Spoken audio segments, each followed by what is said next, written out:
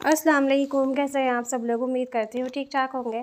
अच्छा तो आज मैं आ गई हूँ यहाँ पे सखर में फिर से सैलून में। मेरी अम्मी का हेयर आई है आज। तो देखें यहाँ पॉलर तो बहुत छोटा सा ही बना हुआ है, लेकिन जो है इसका काम बहुत अच्छा है। माशाल्लाह से हिना पॉलर है। तो देखें ये मेरी अम्मी के जो है अभी ये बाल हैं, इसके बाद अभी बेस कलर चेंज होगा, इसके बाद स्ट्रीक्स होंगी तो मैं आपको सारा जो है लुक दिखाऊँगी कि क्या लुक आ रहा है।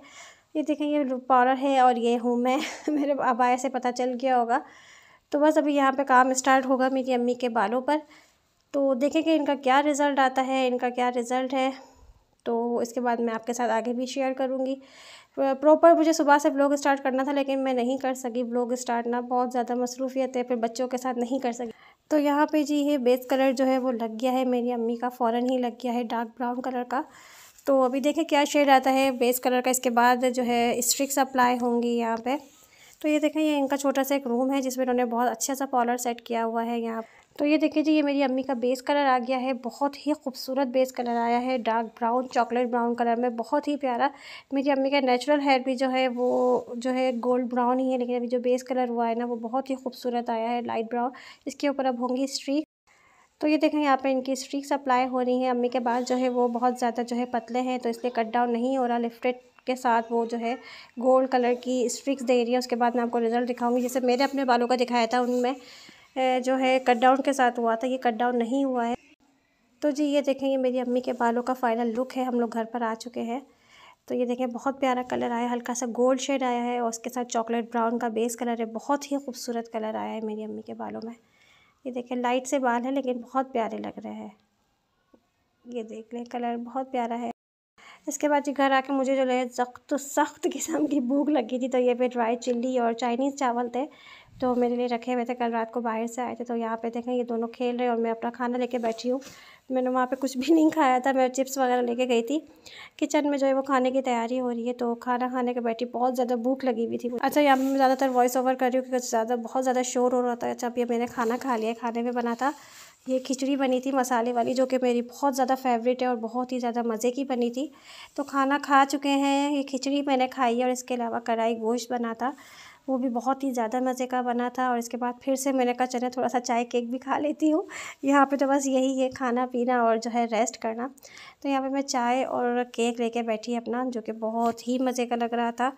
तो बस मैंने कहा चले थोड़ा थोड़ा सा शूट कर ही लेती हूँ यहाँ पर। अच्छा तो यहाँ पे जो है हमारे फेशियल स्टार्ट हो चुके हैं। जैसे मैंने कहा था कि असमतल के प्रोडक्ट से सबको फेशियल करना है तो यहाँ पर मैं पिंक पाउडर का फेशियल बना रही हूँ। तो आज दो है, फिर कल दो है, इस तरह से कर, करके डेली के दो दो फेशियल करूँगी। ये मेरा पिंक पाउडर लिया, फिर मैंने इसके पास ज़ाफ़रानी पाउडर से कर रही हूँ। जैसे कि मैंने दिखाया था कि मैंने मैनी पैडी भी किया था इन्हीं पाउडर से। तो मैनी पैडर में जो रिज़ल्ट था, इसके इससे ज़्यादा जो रिज़ल्ट है वो फेस पर है। तो मैं ये देखें, ये स्किन शाइनर वगैरह सब कुछ डाल के जो है ना, मैं बना रही हूँ फेशियल बना रही हूँ और सॉरी स्किन पॉलिश बना रही हूँ। इसके बाद मैं प्रॉपर जो है फेशियल करूँगी। यहाँ पे भी मुझे वॉइस ओवर करना पड़ा क्योंकि इन लोगों ने रूम में फुल आवाज़ में गाने चलाए हुए हैं। बस यही के, शादी वाला घर है तो बस शादी वाला ही सीन होना चाहिए। तो बस यहाँ पे मैंने स्किन पॉलिश और ये इनका मैंने ये सीरम डाला हुआ है, जो कि बहुत ही प्यारा मतलब इसका रिज़ल्ट जो है वो बहुत, इन पूरी जो स्किन पॉलिश है, इसमें सबसे ज़्यादा रिज़ल्ट जो है ये इस सीरम का है, जो कि सिर्फ़ एक या दो ही ड्रॉप डलते हैं इस सीरम के इसके अंदर। तो यहाँ मैं इसके अंदर डेवलपर ऐड कर रही हूँ। अच्छा ये मैंने बिल्कुल लाइट सी पॉलिश बनाई हुई है। इसमें हार्ड पॉलिश भी बनती है और लाइट पॉलिश भी बनती है। इसमें जो है मैं बिल्कुल लाइट पॉलिश बना रही हूँ, क्योंकि स्किन जो है वो बहुत सेंसिटिव है। लेकिन ये मैं अभी वॉइस ओवर कर रही हूँ, लेकिन जब आ, मैंने किया जिसको मैंने किया है ना उसकी स्किन पे बहुत ज़्यादा ग्लो आई है इस पर ना बहुत ज़्यादा अच्छा रिज़ल्ट आया है इस, स्किन पॉलिश का ना। उनके नेक पे उनके हाथ पे हर चीज़ का बहुत ज़्यादा अच्छा रिज़ल्ट आया है। तो बस ये देखें कि यहाँ पे स्किन पॉलिश मेरी रेडी हो गई है अब मैं इसको अप्लाई करूँगी और जो है रूम में बहुत ज़्यादा शोर हो रहा है तो मुझे वॉइस ओवर ही करनी पड़ रही है यहाँ पे।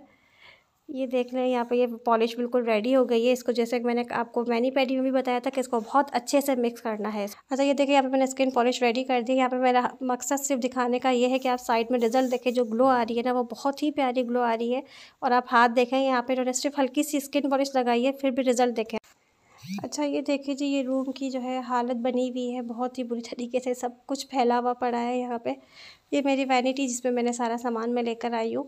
तो बस सारा फिशल हो जाए इसके बाद, ये देखें हर चीज़ जो है यहाँ पे बिखरी पड़ी है, क्योंकि यहाँ पे फिशल चल रहे हैं, सबके पूरा सैलून बना हुआ है यहाँ पे। मैंने पूरा सैलून बनाया हुआ है, पूरा सैलून वाला ही लुक आ रहा है यहाँ पे, हर चीज़। ये देखें मेरा बैग भी पूरा जो है कबाड़ बचा हुआ है, इसका भी है, देख ले हर चीज़।